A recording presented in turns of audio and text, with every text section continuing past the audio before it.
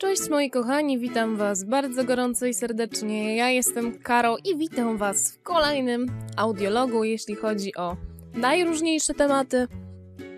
Dzisiaj chciałabym najpierw napomknąć o drobnym wątku, który od po trzech latach, po trzech latach użytkowania zauważyłam. A mianowicie sytuacja przedstawia się tak, że Behringery C1U wcale nie są takie chujowe, jakby się zdarzało. Całe życie używałam tego mikrofonu w postaci pionowej. Jakoś niedawno mnie olśniło, że jednak może taki mikrofon należałoby obrócić. I dzisiaj nastąpił ten cudowny dzień, kiedy ja sprawdziłam, czy rzeczywiście to coś zmienia. Wyobraźcie sobie, że obróciłam ten mikrofon i dźwięk jest przecudowny, przegłośny, ja nic nie muszę przygłaśniać, ja muszę tylko jakby delikatnie obrobić ten dźwięk, żeby wam go udostępnić. Jak bardzo tępą dzidą trzeba być, żeby odkryć to dopiero po trzech latach? To tylko ja, Karo, także jakbyście nie wiedzieli, to tylko ja. E, to tylko ja tak potrafię, to tylko ja tak umiem. I hejcę sama siebie. Wyobraźcie sobie to, że he hejcę sama siebie i, i pukam się w czółko w tej chwili, bo mam takiego facepalma, że nie mogę sama ze sobą żyć.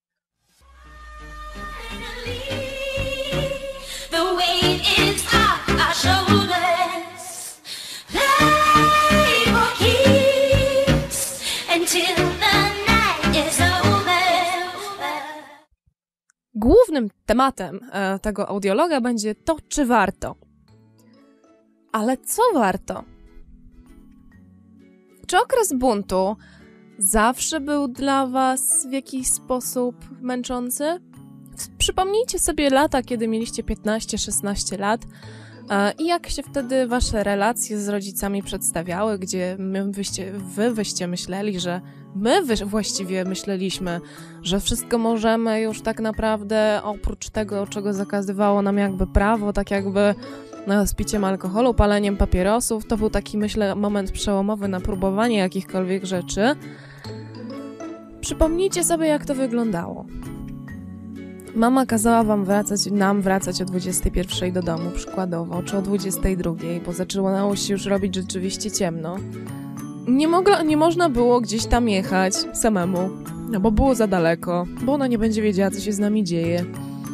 Nie można było wrócić z imprezy, nie można było chodzić na imprezy, ewentualnie jakieś, o mamo, idę na urodziny. Co kończyło się zazwyczaj tym, że szło się na jakąś domówkę i po prostu było nieciekawie po powrocie do domu. Przynajmniej ja mam takie wspomnienia.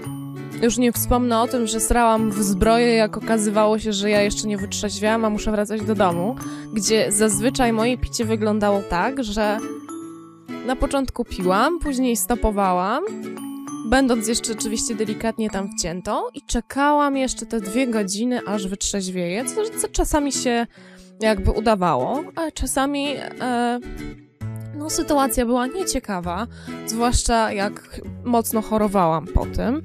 Ja w ogóle miałam straszne przygody, jeśli chodzi o alkohol i tutaj nie będę, nie, nie będę nic ukrywać, bo ja plus alkohol to jakoś dopiero od 17-18 roku życia to sytuacja się uregulowała i ta lampeczka, która się jakby zapalała, dopiero dawała, dawała mi znak, że należy przestać. I myślę, że dopiero w tym momencie nie miałam jakichś przykrych sytuacji, jeśli chodzi o to. I tak ja, jak każdy z nas, myślę, chyba o 21 miałam być w domu. I ja na 21 wracałam do tego domu. I powiem wam, że sytuacja uregulowała się dopiero chyba po mojej 18. Mm, Ja miałam już wtedy chyba pół roku ze swoim chłopakiem. I jeszcze musiałam, nawet jak mnie odprowadzał codziennie, a odprowadza mnie do tej pory, e, zawsze, ale to zawsze musiałam być o 21 w domu. I sytuacja uregulowała się dopiero chwilę po tym, jak pierwszy czy drugi raz poszliśmy na jakąś imprezę i ja do niej zadzwoniłam. E, trzy razy chyba były takie sytuacje, że mamo, mamo, e, wrócę o gdzieś tak koło trzeciej, no bo nie będę, nie będę się teraz zrywać, no dajcie spokój, idę na imprezę na godzinę 20, 22 mam być w domu, no lekka przesada chyba, nie? I zadzwoniłam do niej, podając właśnie ten argument, no i ona mówi, no dobrze, ale jak coś się stanie, to urwę mu jaja, nie? Na tej zasadzie.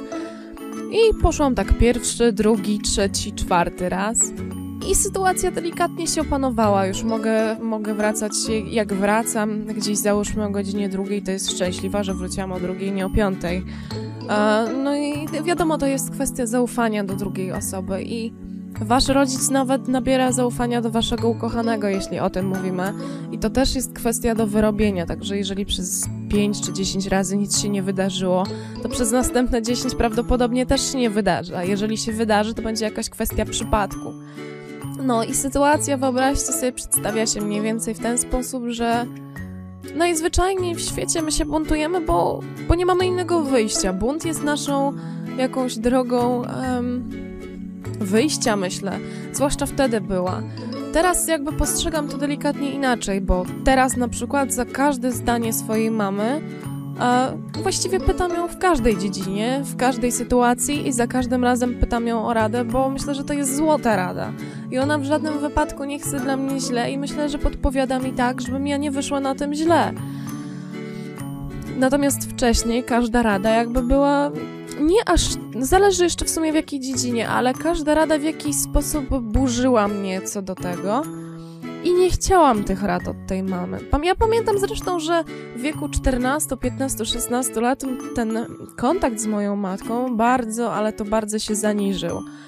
Natomiast po tym przełomowym już myślę momencie wszystko wróciło do normy, a nawet jest czasami lepiej. Wiadomo, że każdy krzyknie, e, jeżeli coś mu się nie podoba. Każdy krzyknie, jeżeli coś mu nie odpowiada. I załóżmy, jeżeli mama na was nakrzyczy, nienawidźcie jej za to.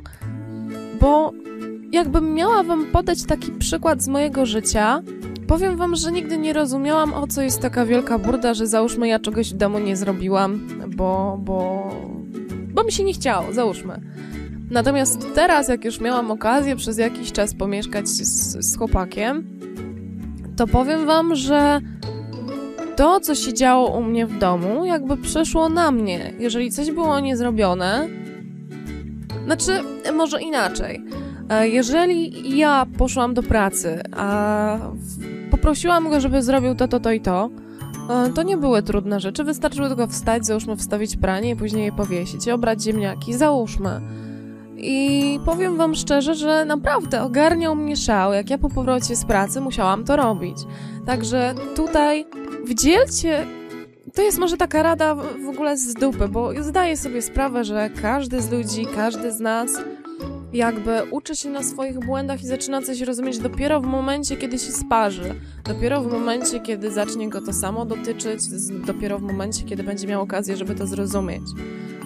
Tymczasem, zresztą też wiem, że rady starszych osób, czy bardziej doświadczonych osób w ogóle idą mimochodem, nie? Lewym wlatują, le prawym wylatują. I to na tej zasadzie działa. I u mnie to tak samo działało. Mnie też wszyscy mówili i ja też ich gówno słuchałam. Ale mam nadzieję, że młodsza widownia, która mnie ogląda raz na jakiś czas, chciałabym, żebyście wdrążyli do, do konfliktów, do tego okresu buntu odrobinę empatii, odrobinę jakiegoś takiego zrozumienia bo jeżeli nie będziecie rozumieli, dlaczego ktoś na was krzyczy, dlaczego ktoś was karze za coś, no, natomiast jeżeli będziecie wiedzieli, za co dostaliście tą karę i zostanie to wyjaśnione, zresztą przede wszystkim trzeba rozmawiać w każdym konflikcie, nawet jeżeli jesteście mocno pokłóceni, należy rozmawiać, bo, bo bez rozmowy nie ma, nie ma nic, tak? Przede wszystkim warto jest na to zwracać uwagę. I to jest bardzo, bardzo istotne w tej sytuacji. Chciałabym, żebyście wdrożyli troszeczkę empatii, żebyście chociaż raz na jakąkolwiek karę, czy ona jest słuszna, czy niesłuszna, czy ona jest radykalna, czy nie, żebyście spojrzeli albo postarali się spojrzeć na to ze strony swojej matki czy ojca, którzy was rzeczywiście karzą, którzy czegoś nie chcą, żebyście robili. Podejścia są różne, bo niektórzy rodzice też mają bardzo zdrowe podejście, że jeżeli załóżmy czegoś wam zabronią, to wy i tak będziecie robili tylko ukradkiem o, jeżeli coś tam się wydarzy, też będziecie to robili tylko ukradkiem. Moja mama na przykład wychodziła z założenia, że jeżeli zabroni mi palić, to ja i tak będę palić, tylko zawsze się będę kitrać i zawsze albo coś się, znaczy, że kiedyś tak się będę kitrać, że, że po prostu coś się wydarzy nieprzyjemnego i od razu było, załóżmy, powiedzenie, no dobra, jak chcesz to pal, ale tylko przy mnie. Znaczy, jak wyjdziesz na dwór, tylko się, czy jakoś tam, żeby się kryć, prawda, przed, przed jakimś mandatem, czy przed czymś. To myślę jest zdrowym założeniem, bo jeżeli nie pozwoliłaby mi palić, myślę, to na pewno bym paliła. I to zawsze tak jest, że jeżeli. Zresztą sami zauważcie, że jeżeli coś jest nam zabronione, o, co ja mówię w ogóle? Jeżeli coś jest nam zabronione, to jeszcze bardziej nas ciągnie do tego, żeby coś robić. Oj, dzisiaj tego tematu chyba nie wyczerpałam. Mam jakieś takie dziwne poczucie, że, że coś jest jeszcze niedopowiedziane. Jeżeli wiecie, czego nie dopowiedziałam, jeżeli wiecie, co mam na myśli w związku z tym niedopowiedzeniem, napiszcie w komentarzach, wypowiedzcie się, jak wyglądało wasze, jak wyglądało wasze dzieciństwo, właściwie ten okres buntu o ile, o ile może teraz wygląda was, wasz okres buntu. Przypominam także o tym, że możecie zostawić łapkę w dół lub łapkę w górę, jeżeli materiał wam się podobał. Tymczasem ja się z wami żegnam, także trzymajcie się i papa. Pa.